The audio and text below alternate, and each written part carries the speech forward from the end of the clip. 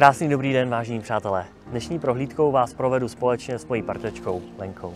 Krásný den, vítáme vás společně na Kladně, v městské části Kroče hlavy. Vašku, co pak tam máme dneska připraveno za novinku? Dnes jsme si pro vás připravili prodej světlého a prostorného bytu o dispozici 3 plus 1 po rekonstrukci, který se nachází ve druhém patře panelového domu v ulici Vitry. To zní zajímavě, tak pojďme se na to společně podívat.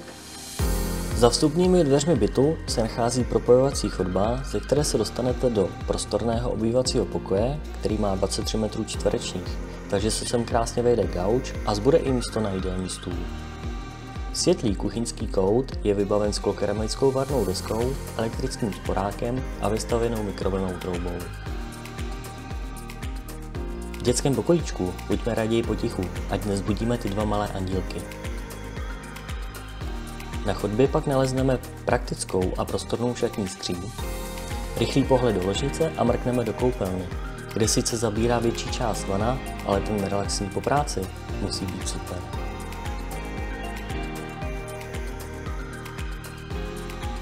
Jsme skoro u konce naší prohlídky. Lení, ty jsi finanční specialistka a tento byt se dá pořídit na hypoteční úvěr. Jaká bude zhruba měsíční splátka? No tak, eh, pokud klient bude mít v hotovosti alespoň 20%, tak by mohla být měsíční splátka okolo 20 tisíc, počítáno se splatností na 30 let.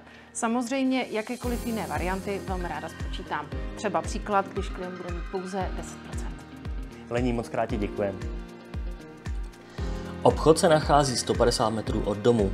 Dětské hřiště je přímo za domem a v nákupním centru Oáza jste za 10 minut pěšky.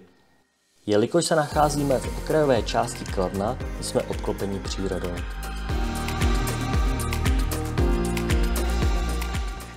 Oslovila vás tato nabídka? Jmenuji se Václav Kučera a jsem realitní makléř. Jmenuji se Lenka Kučerová, jsem hypoteční specialistka a společně vás veme na prohlídku zmíněného bytu.